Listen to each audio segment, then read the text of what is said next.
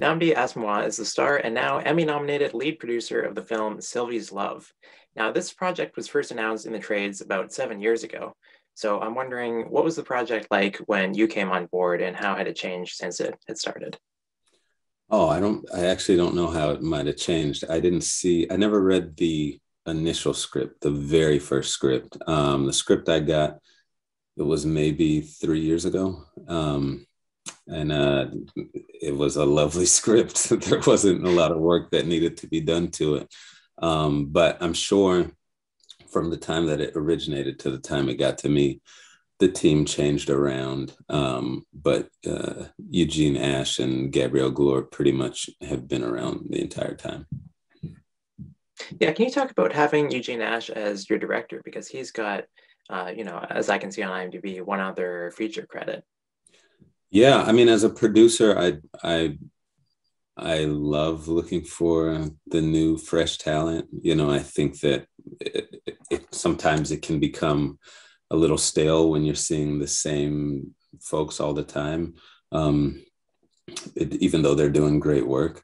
Uh, so Eugene having one credit, I, I, wanted to see what that work was, and I, I watched the film, the film that he made called called Homecoming, um, and I thought it was great. You know, I thought it was great. I was like, boy, you give this guy, you know, some more resources, and I think he could really take off. And once I read that script uh, from Sylvie's Love, it was like, this is a guy that you can champion, and let's see how how great it can become. Yeah, can you talk more about staffing? Uh, another one I noticed is your composer, uh, Fabrice Lecomte. He you know, has a very long career, but not necessarily in film. No, but uh, Fabrice matches a style that we were really going for, and just making sure that you know it's an American film, but there was some of this European flavor. Um, I think just in shooting it, in the music, just uh, you know everything. I mean, in the story, the characters end up going to to France, to Paris, to uh, to play jazz. So it was always a part of it, and then Fabrice just. Um, really had an ear for the type of music that we were going for, and Eugene ended up bringing him in uh, to the process pretty early on, and it just clicked all around. And you know, Fabrice was wonderful. I like that word you use, flavor, because I think this uh, movie really does have like a very specific flavor. Can you talk about what that is?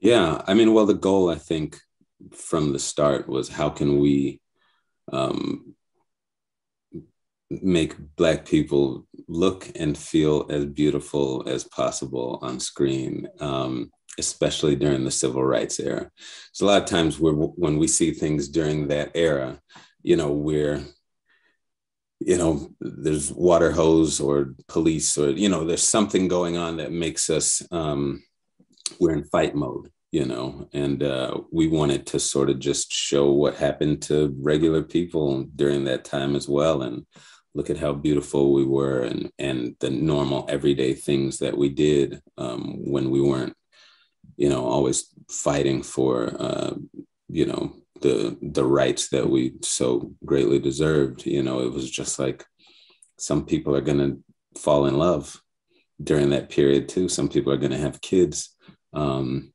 some people are going to just want to hang out with their friends and go to the dance down the street you know and so it's like let's sort of show some of that. So I think that was a part of the flavor that we really wanted to tap into um, from the costumes uh, with Phoenix Mellow to the music to, you know, just about all of it. We wanted to, to make sure that we hit that. So you've got Tessa Thompson playing Sylvie. What does she bring as a performer?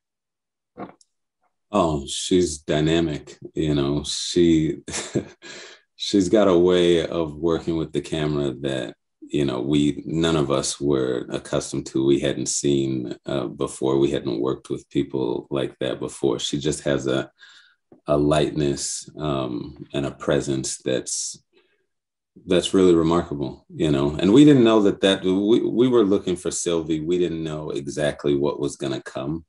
Um, we really wanted her to do it. But again and she'd say this too we've never seen tessa in a role like this so how you know how do you know what you're gonna get? But she's just such a phenomenal actor and i knew her personally and so i knew that all of these aspects were in her and she just brought them out in just such a beautiful way. And then i think declan quinn our cinematographer really found a great way to um, to shoot her and to shoot myself and just make us really pop on screen and i think that that always helps now this came out in december then two days later bridgerton came out. So i want to ask about uh, casting Rege-Jean Page. Uh, what did you um, see in him you know before everyone else saw him?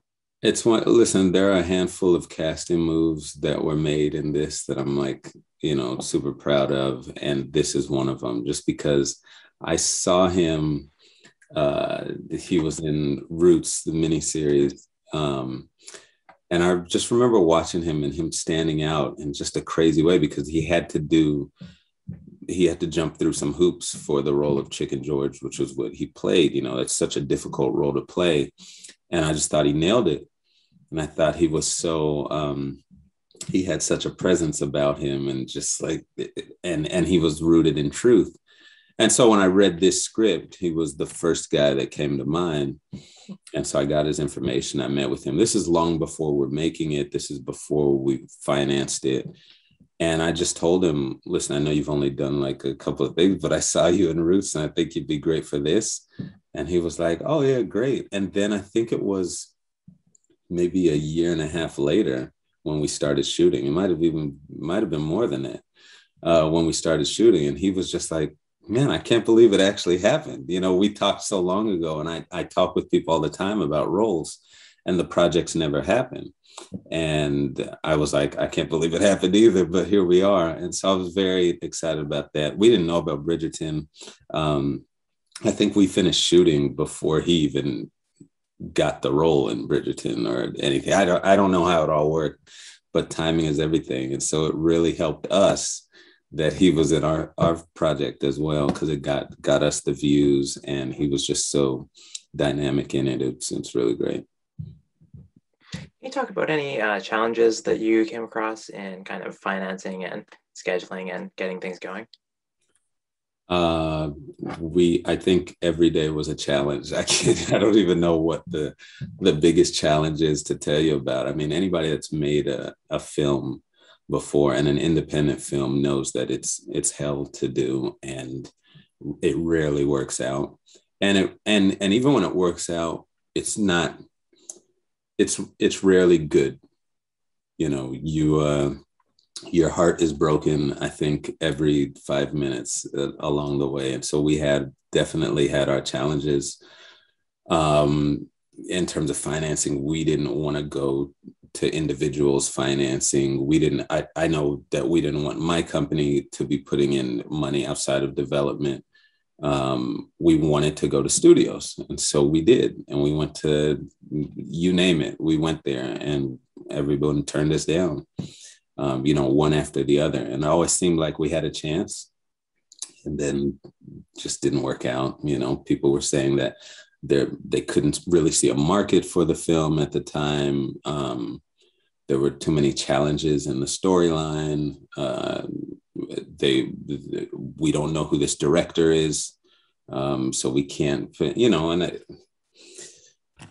They everyone has their reasons and it happens all the time but um, ultimately we just said let's go make it um, and then my company was able to do financing along with other angel investors that just came in and really saved the day for us um, and really believed in what we made i think it's always good to when you're an independent filmmaker to if you can get some of the financing to start shooting and put a little piece together maybe five minutes or so, 10 minutes, and show other financiers and say, this is what we're working on, this is where we are. Can you help us finish the project? And we were able to do that. We were able to get people to, to really step up. But um, yeah, it was a long road. It was a long road full of no's and um, and then you make it and everyone's like, oh, it's great. I'm like, yeah, yeah, thanks. Yeah, it came out at Sundance, and then uh, Amazon acquired it. Uh, they released it almost a year later. Uh, Amazon is releasing a lot of movies these days, but this one's different in that they're, you know, they were pushing it for awards, uh, for the Winter Awards. Sometimes, like at the Golden Globes, they push it as more of a feature film. For the Emmys, now it's a TV movie. Uh, what has that process been like, and kind of going back and forth? The Amazon process, I'll be honest with you, has been amazing. They have they stepped up in a huge way. Jen Salke was big in that, and she's such a personable person. You know, she's she's not standoffish. We talk on the phone and are emailing and texting and really trying to um, and we really tried to make the marketing and the message behind the film stand out. And she was there every step of the way. And the entire team, um, the marketing team behind it, they really they went above and beyond. And I, I think we, I think we started with some uh, some screenings, some smaller screenings, and I think the reaction definitely helped fuel more from uh, the Amazon team and the marketing side. Like, you know, no one you you never really know what you have until you have people that aren't attached to it watching it and seeing their reaction. And I think those reactions really helped us. And then Amazon stepped up in a major way and said, let's go make this happen in, in the biggest way we possibly can. You know, obviously it wasn't uh, $50 million film. So we only had so much in the budget for marketing, but I think we spent every single penny uh, and, and, and they did the best with it. And I'm very pleased. Uh, the film has that one Emmy nomination. If it got, you know, one other one, uh, what would you have hoped it would have been? Um, I don't know. I couldn't. I can't single. It's tough to single one uh, person or group out um, because I hired everyone, and I'm like they're all like my. You know, I, I'm I'm so pleased with everyone's work on it. Um, I think the us being nominated as a film in general is the greatest feeling. You know, that's the greatest reward right there because that you know that that's everyone you know that's hair and makeup who were phenomenal that's costumes uh, who are phenomenal that's the dp that's the director writer producers um, that's the amazing cast that's the production design that's the music you know it's everyone is a part of that. So i'm i think i'm most happy that that's what we got nominated for I introduced you at the start as a producer and an actor. Uh, is that kind of what you think of yourself? Like, I'm wondering if you're at a party, do you say that you're, you know, former NFL All Star, or are you uh, touting your, you know, insane charity work, or what do you think of yourself as? Uh, I, I what do you think of yourself? That's an interesting question. I mean, in this business, definitely producer and actor. Um, not one or the other. You know, I'd say both. I, I really came into the business thinking, oh, let me try acting. Let me see how that is. I, you know, I like movies.